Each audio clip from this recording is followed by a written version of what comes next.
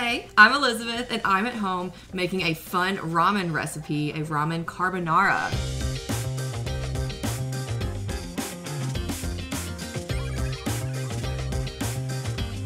Start by cooking two slices of chopped bacon in a large skillet over medium heat for five minutes or until nice and crisp.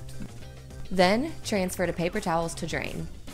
Add half a cup of chopped onion to the same skillet and cook until tender, which should take three to five minutes. Meanwhile, cook two packages of ramen noodles in a saucepan according to the directions. No need to use the flavor packets. Add in a half a cup of frozen peas in the last minute of cooking. Reserve half a cup of that cooking water and then drain.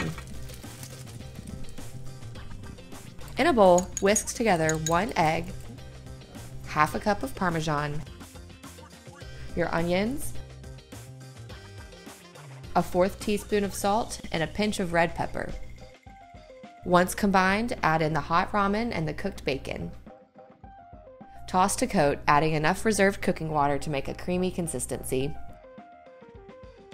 Top each serving with some fresh parsley, and that's it. Look at this! This is a super easy, delicious, budget friendly carbonara made with ramen noodles. Let me know in the comments how you like to hack your ramen, and don't forget to subscribe.